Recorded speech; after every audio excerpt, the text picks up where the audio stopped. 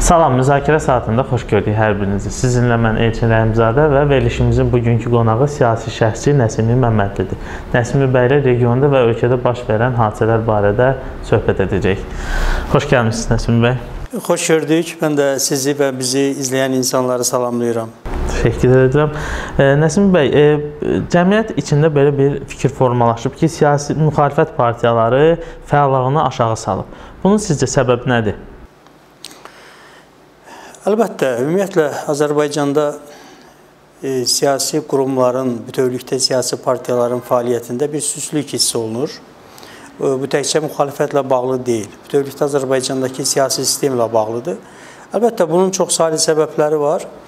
E, amma bu səbəblər içərisində mən bir neçə əsas məsələyə istərdim toxunam. E, bunlar nədən ibarətdir? İlk növbədə bilirsiniz, siyasi pluralizmin olmadığı cəmiyyətlərdə bir qayda olaraq siyasi partiyaların, siyasi qurumların rolu çox aşağı səviyyədə olur. Çünki siyasi pluralizm özü cəmiyyəti hərəkətə gətirən, ona siyasi dinamizm verən bir amildir. Siyasi pluralizm isə biz yəni politologiyadan, sosiologiyadan bilirik ki, siyasi partiyalar yaratmır. Bunu yaradan daha çox vətəndaş cəmiyyəti institutlarının fəaliyyətidir. Azad məhkəmənin mövcudluğudur, azad medianın mövcudluğudur. Əgər bunlar yoxdursa, Təbii ki, ölkədə siyasi pluralizm də e, məhz bundan qaynaqlanan məsələ kimi aşağı düşür. E, başqa bir amil e, siyasi qurumlarla bağlı qanunvericiliklə bağlıdır. Azərbaycanda bilirsiniz ki, siyasi partiyalar haqqında qanun 22 maddədən ibarət qanun, düzdür, 92-ci ildə qəbul edilib bu qanun, amma sonradan ona yüzlərlə dəyişikliklər və əlavələr edilib. Düzdür, maddələrin sayı azalıb artmayıb. Amma mahiyyəti etibarilə siyasi partiyaların e, necə deyək, hüquqları ilə bağlı, vəzifələri ilə bağlı, onların cəmiyyətdəki yeri ilə, rolu ilə bağlı e, çox ciddi geriləmələr var. E, xüsusilə də 2002-ci il referendumu ilə bilirsiniz ki, e, siyasi e, partiyalara çox sarsıdıcı bir zərbə vuruldu. Proporsional seçki sisteminin konstitusiyadan çıxarılması seçki qanunvericiliyinə e, ona müvafiq dəyişikliklərin edilməsi siyasi partiyaların rolunu cəmiyyətdə arxa plana atdı. Bütövlükdə yəni siyasi partiyaların hakimiyyətə gəlmə qanunvericiliklə yolu və mexanizmi bağlandı. Başqa bir amil əlbəttə maliyyə məsələləridir. Maliyyə qaynağının olmamasıdır. Maliyyə qaynağına çıxışın e, bilirsiniz onunla bağlı da qanunvericilikdə çox sərt maddələr var. İanənin verilməsi ilə bağlı, yardım edilməsi ilə bağlı dövlət tərəfindən maliyyələşməsi ilə bağlı çox ciddi məhdudiyyətlər mövcuddur. Və nəhayət mən deyərdim ən böyük səbəblərdən biri bilirsiniz Azərbaycan cəmiyyəti ilə bağlıdır. Azərbaycan cəmiyyətinin real durumu necədirsə, təbii ki, biz siyasi partiyalara bir muxtar qurum kimi baxa bilmərik. O cəmiyyətin tərkib hissəsidir. Siyasi partiyalarda olan insan kimdir? Mənəm, sizsiz, başqalarıdır. Yəni bizik, biz vətəndaşlarıq. Və əlbəttə bunlar e, insanların real vəziyyətinə uyğun şəkildə, cəmiyyətdəki e, siyasi proseslərə baxışına uyğun şəkildə siyasi partiyaların da mövqeyi buna uyğun formalaşır. Xüsusilə də e, biz hesab etsək ki, əgər Azərbaycan qeyri-azad ölkədir. 2014-cü ildən bilirsiniz ki, bütün beynəlxalq hesabatlarda Azərbaycan qeyri-azad ölkə hesab edilir. Qeyri-azad ölkələrin özünün xarakterindən doğan yanaşma var. Cəmiyyət bundan artıq fəal ola bilməz. Cəmiyyətin üzərində müəyyən bir baskılar var. Əlbəttə bunlar da e, bütövlükdə siyasi partiyaların, siyasi qurumların fəaliyyətinə təsir göstərir. E, yeri gəlmişkən mən dəfələrlə bunu e, efirlərdən də səsləndirirəm. Siyasi təfəkkürün zəiflədiyi cəmiyyətlərdə ümumiyyətlə və bu hansı amillərlə şərtlənir siyasi təfəkkürün zəifləməsi? Qadağalar möhkəmləndikcə hökumət tərəfdən baskılar artdıqca, repressiyalar artdıqca, əlbəttə cəmiyyətdə siyasi təfəkkür zəifləyir. Siyasi təfəkkür zəif olan cəmiyyətlər də siyasi qurumların fəaliyyətindən danışmaq çox çətindir. Xüsusilə də indi biz burada bəlkə müxalifətlə bağlı məsələyə də biraz e, o kontekstdə yanaşaq. Mən istədim bir ümumiyyətlə bir siyasi partiyalarla bağlı daha geniş danışım. Mənim biraz da peşəkar sahəmdir. Bu sahə üzrə e, daha çox yəni e, gənclər arasında təlimlər də verirəm bu istiqamətdə. Müxalifətlə bağlı məsələ də əslində çox mürəkkəbdir. Azərbaycanda bizim klassik mənada anladığımız müxalifət yoxdur. Bilirsiniz, demokratik cəmiyyətlərdə müxalifəti kim müəyyənləşdirir? Seçici. iqtidarı da o müəyyənləşdirir, müxalifəti də o müəyyənləşdirir. Çünki seçkidə ən çox səs alan tərəf olur hakimiyyət, az səs alan tərəf isə olur müxalifət. Yəni daha yetərli səs almadığı üçün. Əlbəttə hakimiyyət azlığın da mövqelərini, maraqlarını qorumalıdır. Azərbaycanda demokratik seçki olmadığına görə və Azərbaycanda klassik mənada iqtidar müxalifət münasibətləri yoxdur. Azərbaycanda var rejim müxalifəti. Rejim müxalifətin isə bizim anladığımız kimi, yəni bu politologiyada öyrəndiyimiz kimi seçici və ya belə deyək, e, bütövlükdə cəmiyyətdəki institutlar yaratmır. Narazı və etirazçı insanlar kimin arxasınca daha çox gedirsə, kimə daha çox güvənirsə, məsələn, sabah siz bir siyasi iddia qoyursunuz ortaya, siyasi e, tənqidlərinizlə, fikirlərinizlə, əgər etirazçı insanlar, narazı insanlar sizə dəstək verirsə, ətrafınızda varsa, bu zaman siz müxalifətə çevrilirsiniz, rejim müxalifətinə çevrilirsiniz. Əlbəttə bununla bağlı bəlkə biz ayrıca nə zamansa bir mövzuları danışarıq. Bununla bağlı ölkədə çox e, maraqlı proseslər gedir və e, bu e, tendensiyanın qanunvericiliyə, bu ictimai normalara uyğun şəkildə tənzimlənməsi prosesi başlayıbdı. Mən təxminən belə qiymətləndirərdim ki, bu zəifləmə bütövlükdə cəmiyyətin vəziyyəti ilə bağlıdır. Bu siyasi qurumların, müxalifətin fəaliyyəti ilə bağlı məsələlər deyil. Artıq neçə vaxtdır ki, ölkədə növbədənkənar parlament seçkilərinin olacağı gözləntiləri var. E, necə düşünürsüz? Cəmiyyət bunu istəyir, yoxsa artıq cəmiyyətdə nəyinsə seçki yolu ilə dəyişməyəcəyi fikri formalaşıb? Bu da əlbəttə çox maraqlı e, sualdır. Əvvəla ondan başlayaq ki, Azərbaycanda parlament seçkiləri ilə bağlı konstitusiyada imperativ normalar var. Konstitusiyanın 84-cü maddəsində açıq şəkildə göstərilir ki, hər yeni parlament seçkisi 5 ildən bir noyabr ayının ilk bazar günü keçirilir. Və orada bir e, başqa bir maddə də e, seçki məcəlləsinin 145.1-ci maddəsində də e, bu norma ifadə olunur ki, Konstitusiyanın 84-cü maddəsi, o cümlədən 109-cu maddə ölkə prezidentinə belə bir səlahiyyət verir ki, o prezident seçkilərini təyin etsin. Xüsusilə də 2016-cı ilin referendumundan sonra bilirsiniz ki, prezidentin səlahiyyətləri bir qədər də genişləndirilib. Ona bu istiqamətdə əlavə imkanlar verilibdir ki, seçkiləri təyin etsin. Yeri gəlmişkən prezidentin elə 109-cu e, maddə ilə təxminən 32 səlahiyyət e, müəyyənləşdirilib ona və bu 32 maddədən ibarət olan səlahiyyət e, bilirsiniz, ölkədə bütün hər şeyə nəzarət edir. Yəni biz desək ki, hansısa bir sahə götürək, onu açıq baxaq, mütləq prezidentin səlahiyyəti ilə daxil ediblər. Əlbəttə bu normal bir yanaşma deyil. Yəni bir insana, bir institutun üzərinə bu qədər səlahiyyətlərin yüklənməsi doğru deyil. Məsələnin o tərəfinə gəlirəm əlbəttə ki, parlament seçkiləri ilə bağlı növbədənkənar xüsusilə parlament seçkiləri ilə bağlı fikirlər cəmiyyətdə dolaşır. Bunu şərtləndirən müəyyən amillər var. Bilirsiniz ki, 2016-cı ilin referendumundan sonra ölkədə qarşıya daha çox hakimiyyətin qarşıya qoyduğu məqsədlərə tam şəkildə nail olunmayıb. Burada bir yarımçıqlıq var. Yəni bu məsələ tam şəkildə öz həllini tapmayıb. Çünki bu referendum durub-durub niyə görə keçirilirdi ki? Və parlamentin özü bu gün Azərbaycandakı real e, siyasi şərtlərlə, regional e, reallıqlarla, regiondakı siyasi reallıqlarla uzlaşmır.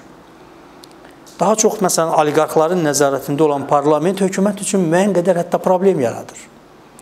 Siz e, diqqətlə baxın. İstənilən bir deputatın, istənilən deməyək, indi içində istisnalar var əlbəttə, e, cəmiyyətin marağından çıxış edən fərdlər var. Əsasən böyük çoxluq danışdıqda, hansısa bir təklif verdikdə cəmiyyət e, biraz da etirazı artır. Biraz da hakimiyyətə qarşı e, e, başlayır e, etiraz fikirləri səsləndirməyə, narazılıq doğurur. Maraqlıdır ki, təkcə bu, bu məsələdə deyil. Birisi vətəndaş cəmiyyəti ilə bağlı durum, belədir. Hökumətin özünün e, bəslədiyi media ilə bağlı durum belədir. Yəni hansı sahəni götürürsən, hökumətin baskısı, nəzarəti üzərindədir. Bu cümlədən Bu məhkəməyə də aiddir, hüquq mühafizə orqanlarına da aiddir. Bunların hamısında bu tendensiya öz əksini tapıb. Ona görə parlament e, seçkisi ilə bağlı cəmiyyətdə belə bir belə bir fikir, belə bir istək var ki, bəlkə yeni bir parlamentin keçirilməsi, demokratik bir parlamentin olması, müxalifətin də təmsil olunduğu bir parlamentin olması bəlkə ölkəni bu böhranlı siyasi durumdan çıxardar. Bax belə bir təsəvvür var. Amma əlbəttə e, bu e, təsəvvürləri mən bölüşmürəm. Çünki Azərbaycan hakimiyyəti özünün sırf siyasi maraqları ilə bağlı, hətta ovqatı ilə bağlı məsələlər burada həll edicidir. Cəmiyyətin maraqları yox. Təəssüflər olsun ki, bütün proseslər onu göstərir ki, hakimiyyət özünə sərf edərsə, özü üçün uyğun olarsa bu qərarı qəbul edəcək. Yox, əgər uyğun hesab etməsə, bunu etməyəcəkdir. Bəzi hallarda hətta deyirlər ki, deputatların səlahiyyəti ilə bağlı müəyyən qanunvericilikdə dəyişikliklərin edilməsi, onların e, hətta Mərkəzi Seçki Komissiyasına bu səlahiyyətlər verilibdir, deputatların e, mandatdan məhrum edilməsi ilə bağlı. E, bu məsələlər cəmiyyətdə belə bir fikir yaradır əlbəttə. Bu belə bir fikir doğurur, amma məncə bu məsələ onunla bağlı deyil. Elə bunu yeri gəlmişkən qeyd edim ki, bu da cəmiyyətdə daha çox e, həmin o seçilmiş qurumların, ayrı-ayrı institutların, birisi də dövlətin sütunlarından biri Azad Məhkəmə, bir qanunvericilik, biri icra orqanlarıdır. Bunun hamısı üzərində icra orqanının total nəzarəti, total baskısı o cümlədən deputatlar üzərindədir ki, cəmiyyətdə qadağalar cəmiyyəti siyasi aktivlikdən saxlasın. Məqsəd bundan ibarətdir.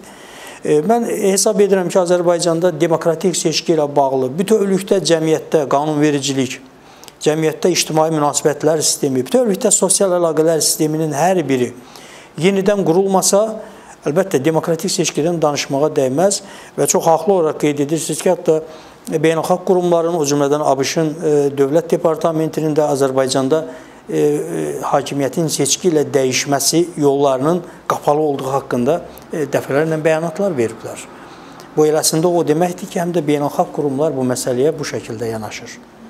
17 noyabrda Milli e, dirçəliş günü ilə bağlı Milli Şuranın və AXCP-nin bayram ziyarəti polisin müdaxiləsi ilə üzləşdi. Necə düşünürsüz? Milli Şura və AXCP-nin yerinə başqa bir partiya, müxalifət partiyası olsaydı da polis bu cür zorakılıq göstərəcəkdi?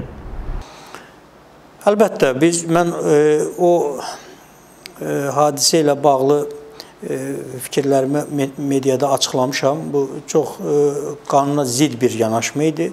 Çünki sərbəst toplaşma azadlığı haqqında qanunda e, şəhidlər xiyabanının ziyarət edilməsi ilə bağlı e, xüsusilə belə götürək, qanunun 3-cü və 4-cü maddələrində tənzimlənən toplantılar var. Bir də nizamlanmayan toplantılar var. Bu şəhidlər xiyabanının ziyarət edilməsi heç bir halda qanunvericiliyin tələblərinə e, o çərçivəyə girmir. Ora daxil deyil. Həm də biz nəzərə alsaq ki, elə bir şəhidlərin E, o məzarlıq salınandan bura qədər orada e, ziyarətin hər hansısa bir formada hökumətlə razılaşdırılması e, baş verməyib. Yəni praktikada belə bir yanaşma yoxdur. Bu bir qəbirstanlıq ziyarəti kimi təxminən belə bir dəfn mərasimlərinə uyğun, bayram mərasimlərinə uyğun tənzimlənən bir e, toplantıdır. Yəni məsələn bu tərəfinə biz mütləq vurğu salmalıyıq ki, bu yanaşma qanuna zidd yanaşma idi. Məsələn siyasi tərəflərinə gəldikdə əlbəttə burada bir sıra amillər var. Bunlardan biri ondan ibarətdir ki, Azərbaycan hökuməti ümumiyyətlə istəmir ki, cəmiyyətdə fəallıq olsun. E, cəmiyyətdə insanlar bir yerə toplaşaraq kollektiv iradə nümayiş etdirsinlər. E, birgə e, bilirsiniz o kollektiv iradə özü yolxucudur. İnsanlar bir e, yerdə bir kollektiv əgər kiçik bir uğur qazanırsa, bir başqaları da ona baxır. Bu istəyir ölkə daxilində olsun, istəyir ölkə xaricində olsun. Ona görə bunu imkan daxilində məhdudlaşdırmağa çalışırlar. Amma burada o amil çox haqlı qeyd etdiniz. Bəlkə Milli Şura və AXCP olmasaydı, hökumət bu qədər e, məsələyə aqressiv yanaşmazdı. Çünki mən bayaq qeyd etdim, rejimə qarşı, sistemə qarşı müxalifətin e, lokomotiv təşkilatı hazırda Milli Şuradır. Yəni bunu bütün e, beynəlxalq qurumlarda, bütün sosioloji araşdırmalar da yeri gəlmişkən mən elə gənclərlə e, təkcə təlimlər keçmirəm, həm də bir sorğular keçiririk. O sorğularda da məsələn 10 e, respondentdən təxminən 6-sı, 7-si e, Milli Şuranı hakimiyyətə qarşı olan müxalif qüvvə hesab edir. Başqa partiyalarda bu, e, məsələn, başqa qurumlarda bu 2-3-ü keçmir. Yəni ümumi nəticə olaraq. Demək istədiyim məsələ budur ki, bu həm cəmiyyətin, həm beynəlxalq qurumların, həm də hökumətin yanaşmasında öz əksini tapır. Hökumət də daha çox e, kimin üzərinə baskı edir? Daha çox kimi e, hansı təşkilatdan insanları məsələn həbs edir, işdən çıxardır, təqib altında saxlayır? O baxımdan bəlkə də AXCP və Müsavat, e, üzr AXCP və Milli Şura ziyarətə getməsəydi, bəlkə də biraz dözümlü yanaşardılar. Amma burada həm də bir başqa amil var idi. Bilirsiniz, e, o ziyarətin kobud şəkildə qarşısının alınması, insanların cərmələnməsindən nə e, AXCP və Milli Şura e, ciddi şəkildə zəifləmədi, nə hakimiyyət qazanmadı, udmadı. Əksinə, burada uduzan tərəf hakimiyyət oldu. Həm cəmiyyət qınadı, həm beynəlxalq qurumlar qınadı. Deməli burada həm də mən hesab edirəm ki, Azərbaycan hakimiyyət daxilində e, qərbdən Azərbaycan hakimiyyətinin yəni e, belə deyək də o ali zirvəsi üçün hər hansısa bir təzyiqlərin, baskıların olmasında maraqlı olan qüvvələr var. Sanki belə bir vəziyyət yaradırlar ki, Azərbaycana daha çox qərb dairələrindən, çünki qərb bilirsiniz, bu insan hüquqları, demokratiya, sərbəst toplaşma, ifadə azadlıqları bu məsələlər qərbin prioritetləri sırasındadır əsasən. Və bu e, baskıların olması görünür hansısa hakimiyyət daxilində Məsələn, Rusiya meylli qüvvələrin, ola bilsin burada onların maraqlarını təmin edən qüvvələrin marağındadır. Və bu amillər də rol oynaya bilər ki, belə bir e, süni gərginlik yaradılsın, qarşıdurma yaradılsın. E, təxminən məsələlərə mənim baxışım bundan ibarətdir. Bu e, hadisə zamanı beynəlxalq aləmdə bəzi şəxslər öz fikrini, öz etirazlarını bildirdi. Amma belə bir cəmiyyətdə belə bir fikir formalaşıb ki, əvvəlki illərə nisbətən beynəlxalq aləm müxalifətə az dəstək verir. Sizcə bunun səbəbi nədir? Doğrusu e, beynəlxalq qurumların bütövlükdə Azərbaycan müxalifətinə total dəstək verməsi mənim ağlıma gəlmir. Mən elə bir 30 ildə Azərbaycan siyasətinin içərisindəyəm, onu müxtəlif qütblərindən e, çox yaxşı izləmişəm. Məlumatlı insanlardan, o cümlədən beynəlxalq qurumlarla çox e, isti təmaslarım var.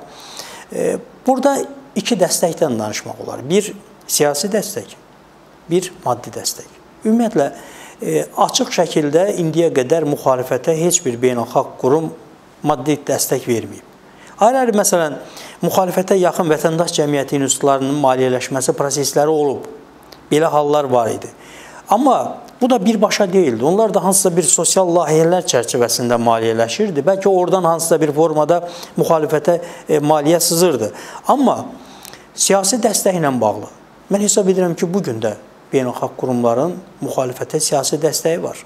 Əgər Azərbaycan qeyri-azad ölkə hesab edilirsə, Azərbaycanda sərbəst toplaşma azadlığının olmadığı haqqında bütün nüfuzlu beynəlxalq hesabatlarda və qurumlarda bəyanatlar, mövqelər varsa, Azərbaycanda media azadlığının olmaması, siyasi məhbus probleminə görə bunlar dəfələrlə deyilirsə, Azərbaycanda keçirilən seçkilər demokratik standartlara cavab vermədiyi qeyd edilirsə, əlbəttə bunlar elə siyasi dəstəkdir müxalifətə. Sadəcə olaraq Azərbaycanda e, qeyd etdiyim kimi biz e, bəzi hallarda hesab edirik ki, bu e, dəstək o qədər açıq şəkildə olmalıdır ki, bunu hər kəs görsün. Bir amil budur. Bir başqa amil də var. Əlbəttə beynəlxalq qurumlarla mən görüşlərdə də bunu dəfələrlə qaldırmışam və onların mövqeyini bilirəm. Qərb ölkələrinin hökumətləri ilə institutlarının yanaşması fərqlidir. Xüsusən məsələn Azərbaycan kimi ölkələrə bunların yanaşması belədir. Hökumətlər daha çox özünün e, iqtisadi ticarət maraqlarını önə tutur. Dövlətin marağını önə tutur. İnstitutlarda isə biraz yanaşma fərqlidir. Onlar insan hüquq və azadlıqları, Avropa siyasi dəyərlərinin geniş mənada o coğrafiyada yayılmasında maraqlıdırlar. Yəni onun bir e, aparıcı faktora çevrilməsində maraqlıdırlar. Ya, bu amil var əlbəttə. İndi hökumətlər daha praqmatik düşünür. Xüsusilə məsələn mən Amerikada son seçkidən sonra bunu e, çox açıq müşahidə edirəm. O cümlədən artıq bu Avropada da bu tendensiya hiss olunur. Hökumətlər öz maraqları ilə bağlı hətta qeyri-azad ölkələrlə, qismən azad ölkələrlə e, ticari, e, iqtisadi əlaqələrini kəsmirlər, davam etdirirlər. E, qonşu ölkələrdə, Gürcüstanda, Ermənistanda e, siyasi səhnədə e, çox böyük hadisələr baş verir. Ancaq Azərbaycan onlara nisbətən geridə qalır. Bunun səbəbi sizcə nədir? Azərbaycanda e, vəziyyəti mən qeyd etdim. Azərbaycan qeyri-azad ölkədir. Əlbəttə e, biz e, 2014-cü ildən sonra xüsusilə bu hesabatlarda keçir. E, buna qədər qismən azad ölkələr sırasında idik və Azərbaycan da hansısa bir e, məsələlərdə müqayisə oluna bilərdi. İndi məsələn keçmiş SSR-ni mən heç Avropa məkanını götürmürəm. Avropa Şurası, digər e, qurumları keçmiş e, SSR ərazisində Götürək elə e, MDB, yəni hamısı ora daxil deyil əlbəttə. Ən sonuncu yerdə insan hüquq və azadlıqları ilə bağlı. Bütövlükdə, yəni cəmiyyətin o demokratikləşməsi baxımından ən sonuncu yerdə hansıdır ölkə? Tacikistandır. Ondan sonra Türkmənistan gəlir. Sonra gəlir Azərbaycan. Hətta Azərbaycandan sonra gəlir Belarusiya və Rusiya. Biz Ermənistan və Gürcüstan artıq e, deyə bilmərik ki, demokratik dövlətdir. Əlbəttə, demokratik dövlət olmaq üçün e, bilirsiniz, başqa amillər lazımdır. Məsələn, orada demokratik seçki var. Amma demokratik ölkə olması üçün mən bir dəfə oxumuşdum. Demək, e, Dünya Bankının bir araşdırması var idi ki, təxminən insanların e, adam başına düşən gəlir 10 min dollardan yüksək olduqda, əhalinin 98% təhsilli olduqda, ölkə ərazisində böyük kommunikasiyanın mövcud olması, bu təkcə bilirsiniz, kommunikasiya mən dedik, daha geniş mənada. Burada rabitə, burada bütün o əlaqələr hamısını ora daxil edirəm. E, hətta məsələn televiziyalar, radiolar, internet bağlantısı və s. hətta nəqliyyat və s. bütün infrastrukturları nəzərdə tuturam. Bunlar 95% təmin edildiyi cəmiyyətlərdə. E, bu baxımdan hesab edirəm ki, Azərbaycan Gürcüstan və Ermənistanla indi artıq müqayisə edilə bilməz. O xeyli dərəcədə aşağı düşübdür. E, əlbəttə Gürcüstan və Ermənistanda baş verən hadisələr bir Cənubi Qafqaz ölkəsi kimi Azərbaycana psixoloji təsir göstərir. Amma siyasi təsirə çevrilməsi üçün başqa amillər lazımdır. O da Azərbaycan cəmiyyəti ilə bağlıdır və Azərbaycan cəmiyyətində təəssüf ki, hələ bu müşahidə edilmir.